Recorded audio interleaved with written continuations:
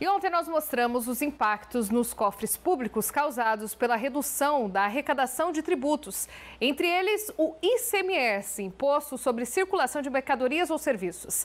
Mas se por um lado a redução do imposto e repasse dele aos municípios impacta nas contas públicas, por outro lado, o aumento da alíquota desse imposto pelo Estado tem preocupado os setores empresarial e industrial.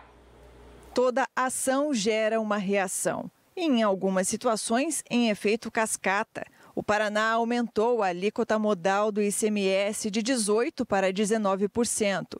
Basta voltar um pouquinho no tempo para entender a justificativa do Estado. Em 2022, o preço dos combustíveis disparou.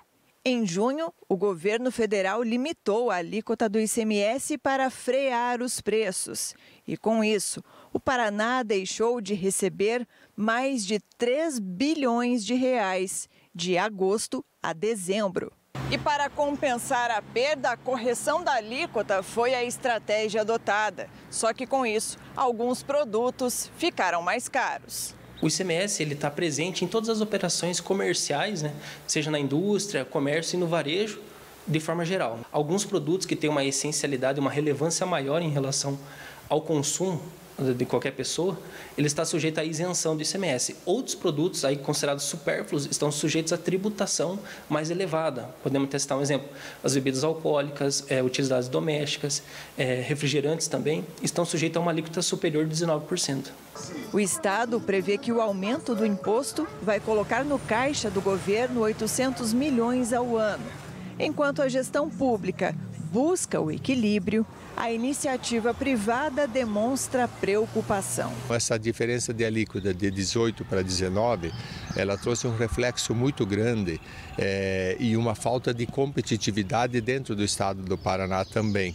É, então, o Paraná agora, a partir dessa medida, ele tem o estado do Brasil com o imposto mais caro e isso é muito ruim. Nós já temos aqui na nossa região um grande problema que é logístico. Esperamos que ele ainda reveja essa situação, é, porque realmente o Paraná perde muito em competitividade. Precisamos que o governo do estado é, faça uma análise de toda, toda, toda a carga tributária que existe na, em cima das mercadorias, né, de produtos importados, o e-commerce mesmo, que o pessoal está usando bastante, há, há, muito mais benefício em, no estado de Santa Catarina, em São Paulo. Então, o que está acontecendo? Os empresários é, no Paraná vão acabar tendo que investir em outros estados, porque a dificuldade da, da, da, burocracia e da carga tributária no estado do Paraná, ela aumentou muito com relação aos outros estados. Fato é que o ICMS